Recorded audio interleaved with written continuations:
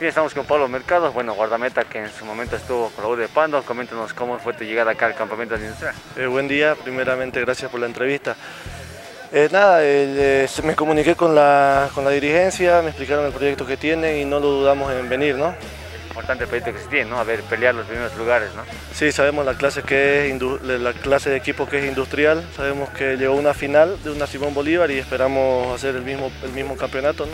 ¿Qué es lo que les pide, profe, en estos días, primero que llegaste?